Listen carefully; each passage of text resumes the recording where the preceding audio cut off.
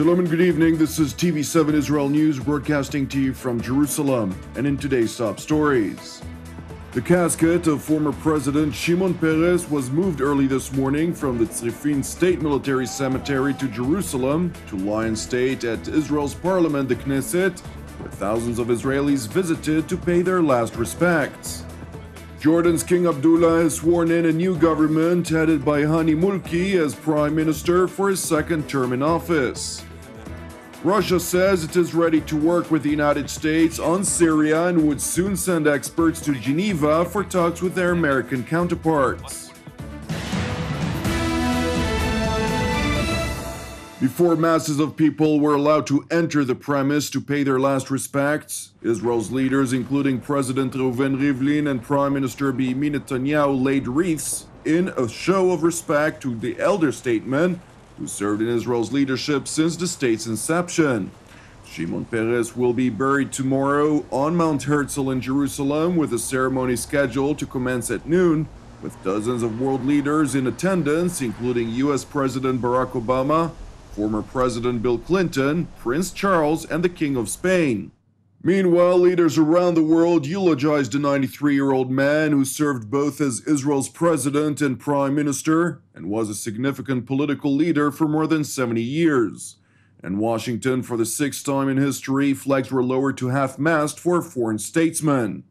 U.S. Secretary of State John Kerry reflected on Peres' contributions to the pursuit of peace in the Middle East. He dedicated his life to the cause of an Israel that would be safe and secure, democratic and free, and the homeland of the Jewish people.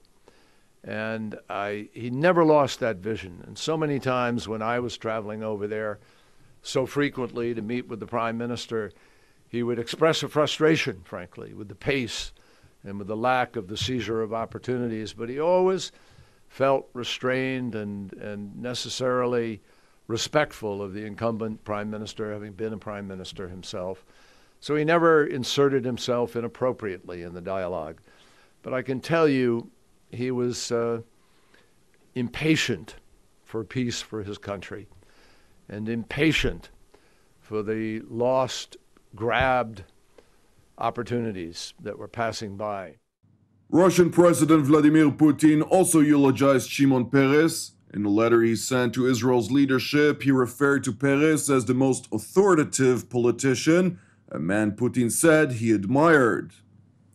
Now to Israel's eastern neighbor, where Jordan's King Abdullah has sworn in a new government headed by Hani Mulki as prime minister for a second term and with foreign, finance, and economic ministerial posts kept unchanged.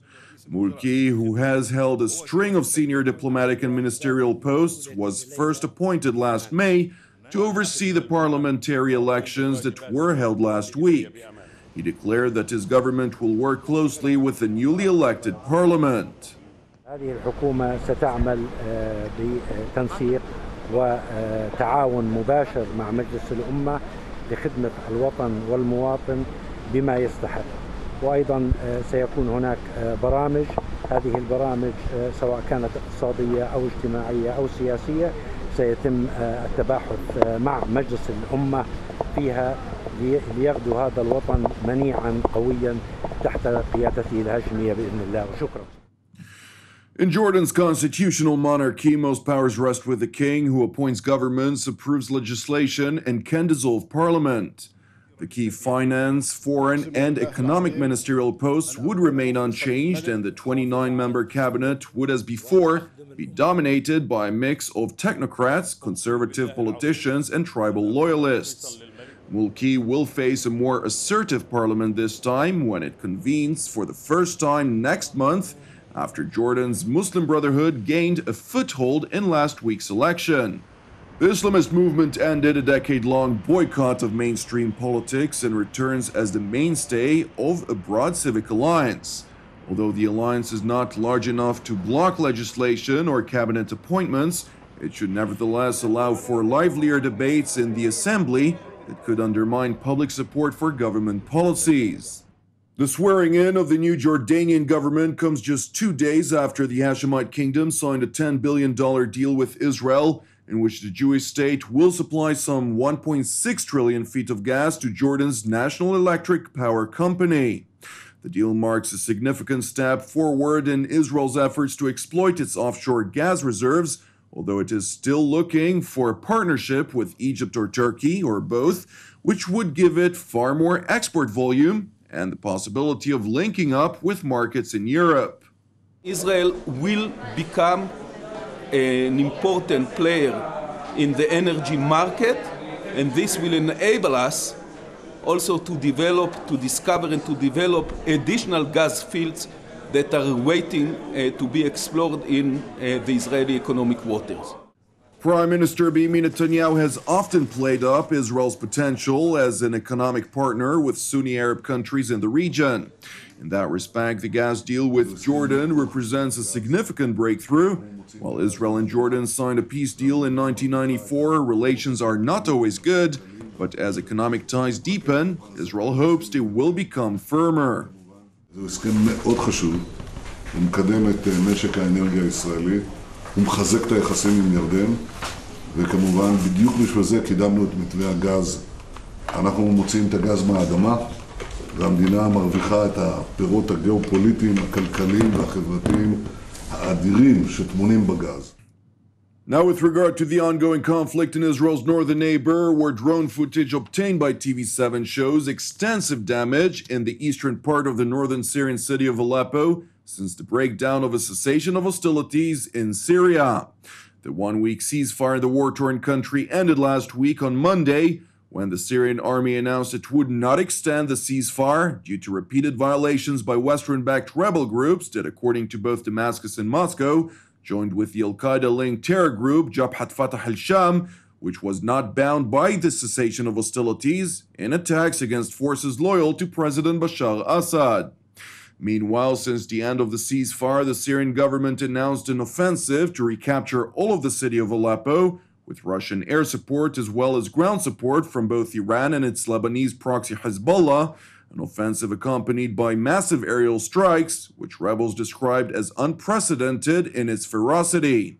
In a tense confrontation at the United Nations over the weekend, the United States called Russia's bombing in support of Assad barbarism and said Russia was killing civilians, medical staff, and aid workers, allegations rejected by Moscow.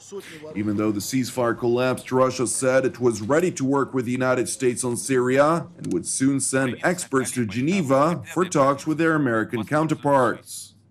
Уже в ближайшее время предусматривается направление российских экспертов в Женеву для возобновления консультаций с американской стороной в целях поиска возможных путей нормализации обстановки в районе Алеппо и Сирии в целом. Рассчитываем, что американские партнеры готовы к совместной работе. The Russian general noted that the situation in Syria has deteriorated significantly as opposition groups took advantage of the week long truce to replenish their weapons caches and regrouped in a renewed effort to capture new territory. Обстановка в Сирийской Арабской Республике существенно обострилась. В провинциях Алеппо и Хама отряды оппозиции, воспользовавшись семидневным перемирием, пополнили запасы боеприпасов и вооружения, осуществили перегруппировку и перешли к активным наступательным действиям с целью захвата новых территорий. Russia has also learned that rebel groups were preparing chemical weapons attacks on the Syrian army and residential areas in the eastern part of Aleppo. Thank you for watching us. You can also watch us at tv7israelnews.com or tv7.fi. For any comments, please send your emails to israelnews at tv7.fi. For more updates from Israel and the region, please join our Facebook page at TV7 Israel News. Praying for the peace of Israel and the peace of Jerusalem. I'm Jonathan Hassan. Have Erev Tov, and we will see you again tomorrow at the same time.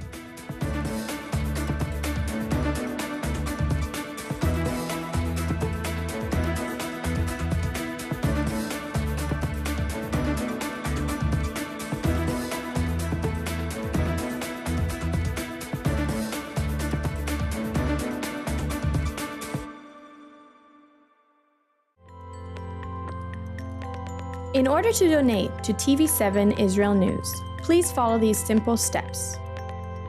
First, press the Donate logo located at the bottom left side of TV7 Israel News Facebook page, or on the Donate tab at the head of the page.